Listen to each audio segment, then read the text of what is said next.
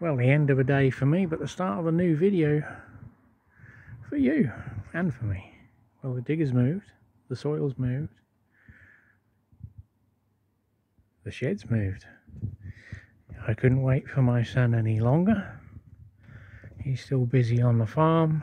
I've put it on the free giveaway sites and no takers. So I spent a couple of days, a couple of three days moving bits and pieces about.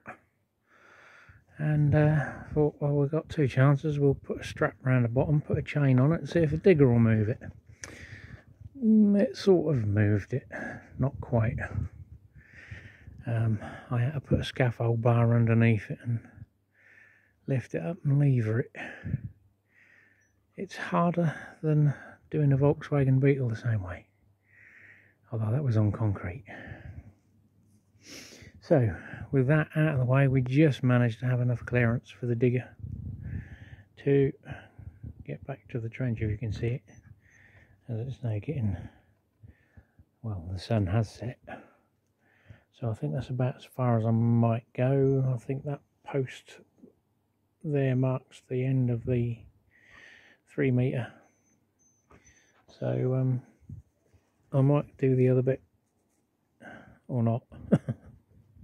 I got enough pipe, so we'll see what happens. So second day at it. Back's killing me.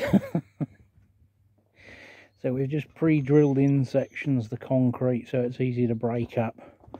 Although it has it's only about four inches thick the concrete but um, nearly the last hole it shared that 10 mil foot long drill bit. Luckily I got a few more. So now it's time to uh, put it on a breaker action. And uh, hopefully that don't break.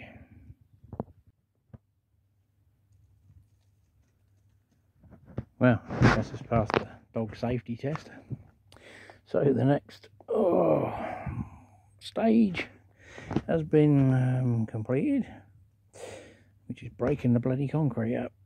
And uh, excavating out around here where the new pipe will sleeve onto the old.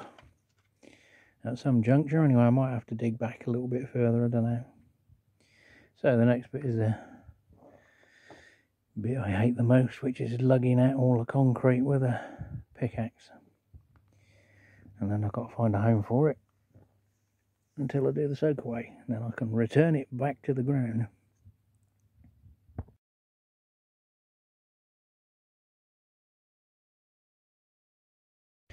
Well, another day, another painkiller, but uh, we're pretty much done, thank.